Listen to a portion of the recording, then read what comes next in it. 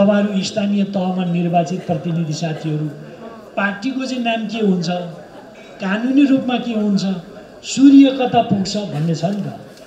अहिले जतिसुकै चाहिँ त्यो हरेक जसुकैले मारा मारा भने पनि मारिनेवाला छैन। केपी ओलीले नेतृत्व गरेको नेकपा जहाँ हुन्छ त्यसैले आधिकारिकता पाउँछ। यसमा तपाईँले अनि जहाँसम्म सूर्य चिन्हको कुरा छ अघि साथीहरूले भन्नुभयो सूर्य चिन्ह नेकपा भनेर आधिकारिक ढङ्गले जुन पार्टी हुन्छ सूर्य चिन्ह त्यसैले पाउँछ। यदि कथौँ कदाचित कानुनी रूपमा अल्झो टुङ्गिन बाँकी भयो भने अरू कसैले पाउँदैन।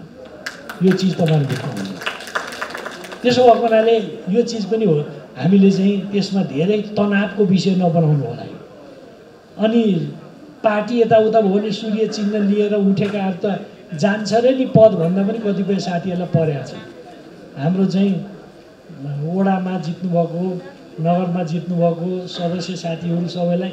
होइन हिजो सूर्य चिन्ह लिएको थियो सूर्य अर्काले लगायो भने त उतैको जा जानुपर्छ अरे त्यसपछि खुस्किन्छ अरे भन्ने पनि परेको छ।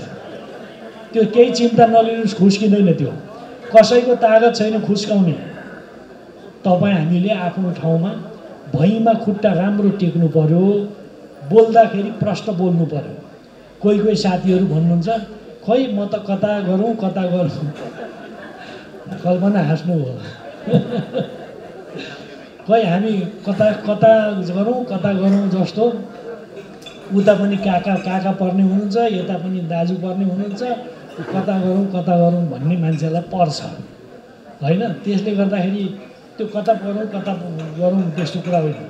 मोटामोटी कुरा जुन मधेसका जनताले भने नि अरू हामी जान्दैनौँ भेटेका पनि छैनौँ तर पाँच वर्ष चुनिएको प्रधानमन्त्रीलाई बिचमै धक्का मारेर हटाउने कुरा गलत हो हामी मान्दैनौँ। कुरो त क्लियर हो नि यो।